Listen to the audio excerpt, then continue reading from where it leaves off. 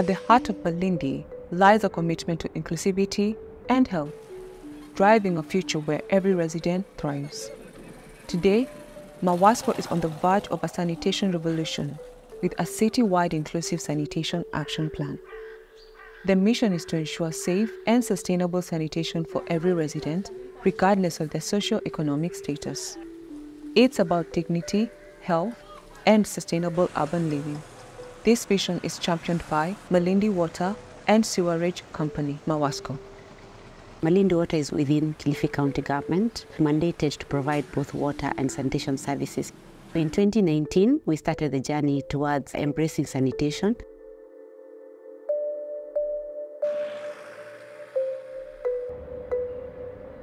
Malindi, Kenya, known for its beautiful beaches and vibrant communities, faces rapid urbanization.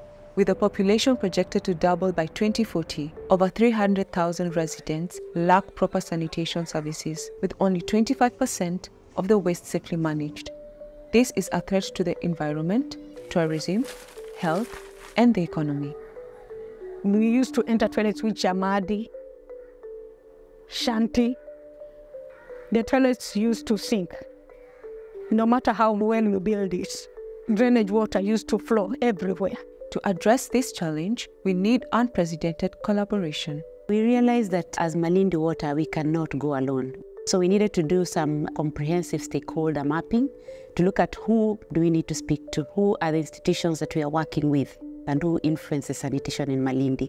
Mawasco has united partners from various sectors to form an integrated sanitation plan using a monitoring and evaluation framework. How we came now to collaborate uh, with Mawasco was through our cleanups. Every month we come together to clean different areas of this town. When we go, like for example, uh, cleaning the, the beach, and because we have no one single toilet, that's when we get to know the places that have open defecation, the places that need toilets. The cleanup has been able to bring in people to talk about without fear and without shame, because you know when you're talking of matter sanitation, you're talking about people, uh, people don't want to talk about that. So we've been able to inform and transfer knowledge through that platform. In Malindi, we're having quite a number of projects around the entire sanitation service chain.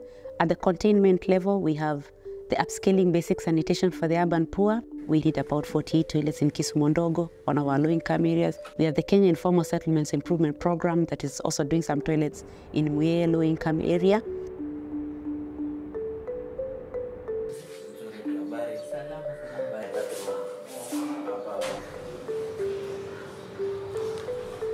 Around containment, we are working with the World Bank to ensure that we have PPP models across, you know, emptying and transportation, so that we also have the private sector coming in. Mawasco is also constructing a new waste-to-value treatment plant. This site is Malindi Fecal Sludge Treatment Plant, which will be used to treat about 93 cubic meters of waste per day. This project uses a very unique technology, which involves the use of uh, screw presses. The screw press technology separates the solids from the, the liquids and reduces the BOD drastically by 70%. This is a very important aspect of waste management. This project is technically and environmentally sustainable. We have designed for machines which will work for a period of over 10 years. The briquettes produced from here will be sold as fuel so people will not be able to cut trees uh, because a lot of trees are being cut to prepare to make charcoal, firewood, and all that. So we can use these briquettes, which are coming from fecal sludge combined with sawdust and coconut husks. This project is the pilot in this country. The system that has been designed employs both the use of waste to value aspect and also treatment of the water. And Malindi having no waste system as we speak it's going to be a game changer.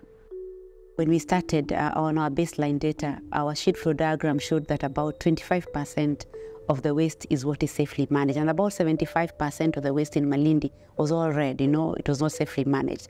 But when you see the interventions and the investments that we are putting in place, we desire that by the time our planning phase is getting to an end, then about 80% of our shit flow diagram should be green. Mawasco's dedicated monitoring and evaluation team works with partners to develop a framework to track progress and proactively address the sanitation challenges. Regarding impact, I've been able to see how transformative this journey has been, how we've been able to impact on lives. Mawasco has helped us first through the water projects.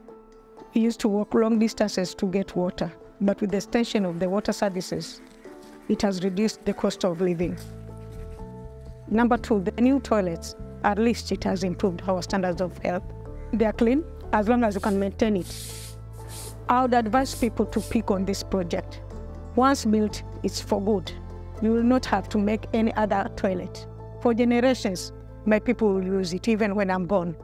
When you put a public sanitation facility in an area that had very high levels of open defecation and you see people changing their behaviors to start using these facilities, I think that is something good. That is what we want to achieve.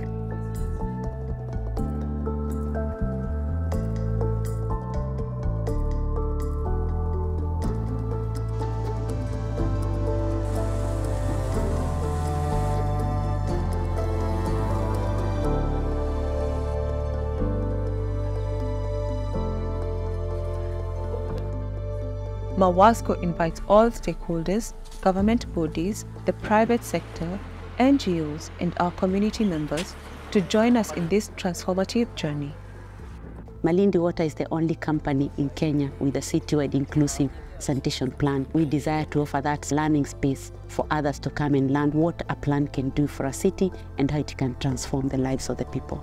Improving sanitation services for the people of Malindi will reduce disease transmission, enhance health outcomes, and achieve a sustainable and inclusive urban future.